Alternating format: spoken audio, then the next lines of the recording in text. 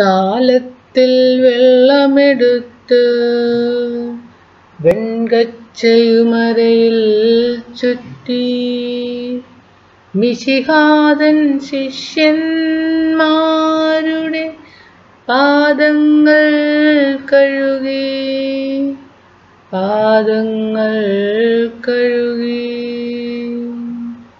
സ്നേഹിതരെ നിങ്ങൾക്കായി ഞാൻ നൽകുന്നു പുതിയൊരു നിയമമും.